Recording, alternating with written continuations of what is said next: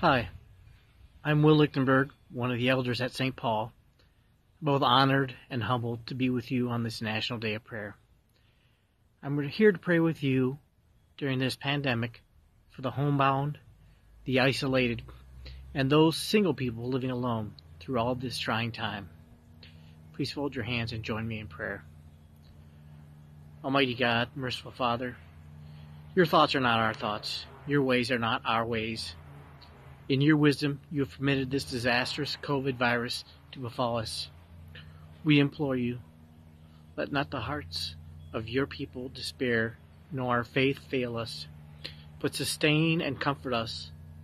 Direct all efforts to attend to the homebound, the isolated, and living alone.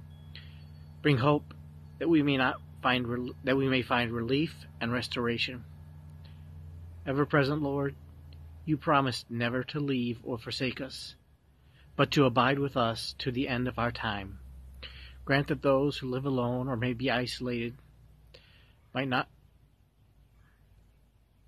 might not be lonely, but find both comfort from your promises and fulfillment in your love in loving you and their neighbors all their days. This we pray through Jesus Christ our Lord. Amen.